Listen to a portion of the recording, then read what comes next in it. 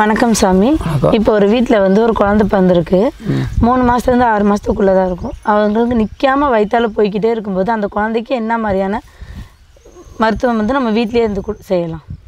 அதுக்கு வந்து கொளிஞ்சி கொலைன்னு ஒரு கொலை இருக்குது அதோடைய வேரை எடுத்து தட்டி அதை வந்து கொதிக்க வச்சு அது சும்மா ஒரு ஒரு சங்களவு கொடுத்தா போதும் நிற்கும் அப்படி இல்லை அப்படின்னா ஒரு ஏழு குப்பைமணி இலை ஒரே ஒரு பூண்டு ஒரு பல் வெங்காயம் ஒரு பல் கொஞ்சம் சீரகம் கொஞ்சம் மிளகு.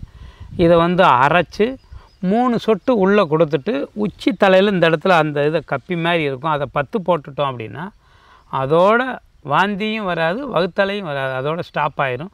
இது குழந்தைகளுக்கு எளிய மருந்து.